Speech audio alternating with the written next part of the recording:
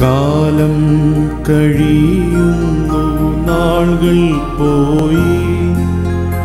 കർത്താവിൻ വരവ് സമീപമായി. മഹത്വനാമത്തെ കീർത്തിപ്പാനായി. ശക്തീകരിക്ക നിൻ ആത്മാവിനാൽ യാത്ര ചെയ്യും ഞാൻ ക്രൂശി നോക്കി. യുദ്ധം ചെയ്യും ഞാൻ യേശുവിനായി. ജീവൻ വച്ചിടും രക്ഷകനായി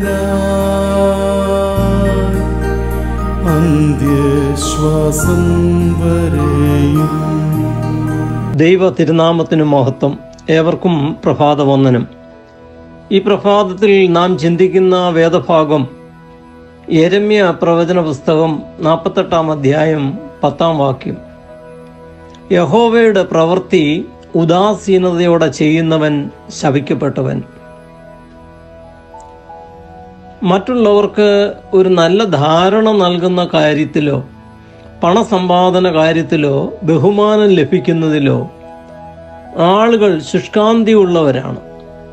എന്നാൽ ദൈവത്തെ പ്രസാദിപ്പിക്കുവാനും സ്വർഗത്തിൽ നിക്ഷേപം ഉണ്ടാക്കുവാനും സഹോദരന് പ്രയോജനമുള്ളവനായിരിക്കുവാനും ശുഷ്കാന്തി കാണിക്കുന്നവർ തുലോം വിരളമാണ്. നാം ജീവിക്കുന്ന കാലഘട്ടത്തിന്റെ ആത്മാവിന് നേരെ വിരുദ്ധമാണ് ശുഷ്കാന്തി ഉള്ളവരായിരിക്കുക എന്നുള്ളത്.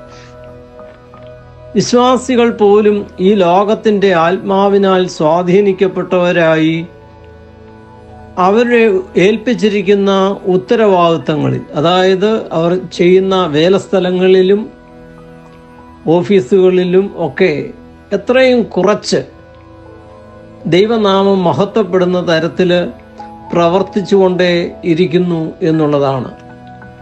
അലസതയുടെ ആത്മാവിനാലാണ് സാത്താൻ ലോകത്തിലെ ജനലക്ഷങ്ങളെ അടക്കി ഭരിക്കുന്നത്. പൂർണ ഹൃദയത്തോടെ നന്മ മാത്രം ചെയ്യാൻ ആഗ്രഹിക്കുന്ന വിശ്വാസ സമൂഹത്തെ തന്നെ തന്നെ രക്ഷിക്കാൻ പരിശ്രമിക്കുന്നവർ എന്ന് വിളിച്ച് പരിഹസിക്കുന്ന കാലമാണിന്ന്. എങ്കിലും അപ്പോസ്തോലന്മാരും പ്രവാചകന്മാരും നമ്മെ പ്രബോധിപ്പിക്കുന്നത് എന്താണ്? സകല ഉത്സാഹവും കഴിക്കുക. ശുഷ്കാന്തി ഉള്ളവരായിരിക്കുക. ഓരോരുത്തരുടെയും രക്ഷയ്ക്കായി പ്രവർത്തിക്കുക. ഓടുക യുദ്ധം ചെയ്യുക പിടിച്ചുകൊള്ളുക മുന്നോട്ടായുക പിന്തുടരുക അലസരാകാതിരിക്കുക തുടങ്ങിയ കാര്യങ്ങളാണ്. അനുസരണത്തിന്റെ പ്രവർത്തികളെക്കുറിച്ചുള്ള പ്രബോധനങ്ങൾ കേൾക്കുവാൻ ഇഷ്ടപ്പെടാത്തവർ ദാസിയുടെ മക്കളാണ്. അവരെ പുറത്താക്കുക എന്നാണ് തിരുവചനം പറയുന്നത്.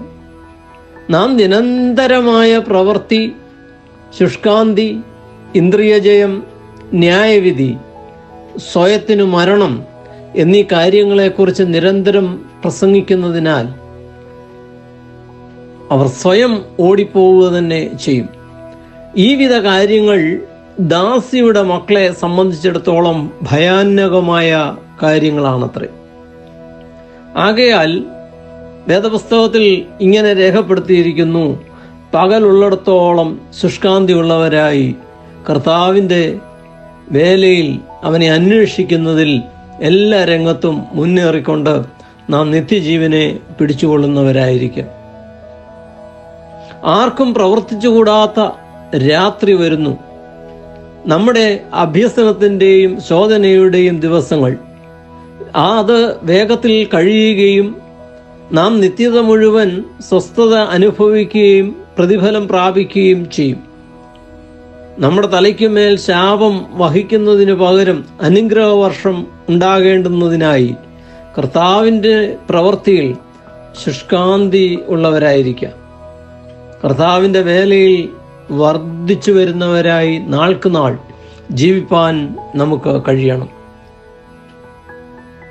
എല്ലാ വ്യാജ്യമായ സ്വതന്ത്ര മനസ്ഥിതിയും ജഡത്തിനായുള്ള സ്വാതന്ത്ര്യവും ഉപരിപ്ലവതയും ഫോഷ്കും കാപഠ്യവും മുഖസ്തുതിയും ദുർലാഭവും ഉപേക്ഷിച്ച് വാക്കിലും പ്രവൃത്തിയിലും ദൈവ ഭയത്തിന്റെ വഴിയിൽ മുന്നേറുക. ജഡത്തിന്റെ എല്ലാ പ്രവൃത്തിക്കുമെതിരെ മരണം പ്രസംഗിക്കുക.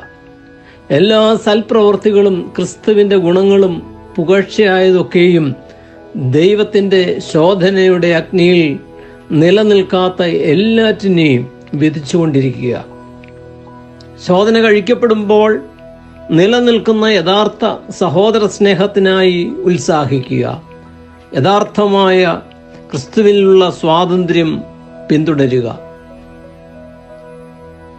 നാം ക്രൂശിന്റെ പാതയിലൂടെ നടക്കുന്നത്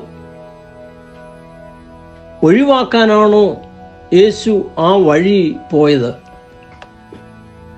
ചിന്തിക്കുമ്പോൾ നമുക്ക് പല ഉത്തരങ്ങൾ ലഭിക്കും എങ്കിലും ഒരിക്കലും അല്ല എന്നാണ് എനിക്ക് തോന്നുന്നത്.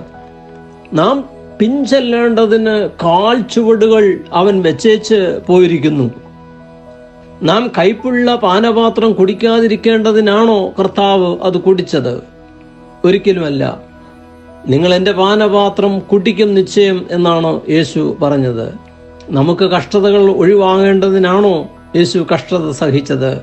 നാം അവനോടുകൂടി കഷ്ടം സഹിച്ചാൽ അവനോടുകൂടി തേജസ്കരിക്കപ്പെടും എന്ന് തിരുവചനം നമ്മെ ഓർമ്മപ്പെടുത്തുന്നു. യേശു ക്രിസ്തുവിന്റെ ഭാവം തന്നെ നമ്മിലും ഉണ്ടായിരിക്കണം. അത് പ്രാണത്യാഗത്തോളം പോരാടിക്കൊണ്ട് നമുക്ക് മുമ്പിൽ വെച്ചിരിക്കുന്ന ഓട്ടം സ്ഥിരതയോടെ ഓടുവാനാണ് തിരുവചനം നമ്മെ ഉത്സാഹിപ്പിക്കുന്നത്. യേശുവും അതുതന്നെയാണ് ചെയ്തത്. ആ മാതൃകയാണ് നമുക്ക് മുമ്പിൽ ഉള്ളത്. നമുക്ക് പ്രാർത്ഥിക്കാം. ദൈവമേ നടന്ന വഴികളിലൊക്കെയും നിന്നെ ധ്യാനിക്കുവാനും നിന്റെ പ്രവർത്തികളെ തിരഞ്ഞെടുക്കുവാനുമുള്ള കൃപ ഞങ്ങളുടെ ഓരോരുത്തരുടെയും ജീവിതത്തിൽ ചൊരിഞ്ഞു തരണമേ. ആമീൻ. ആത്മീയ ഭക്ഷണം.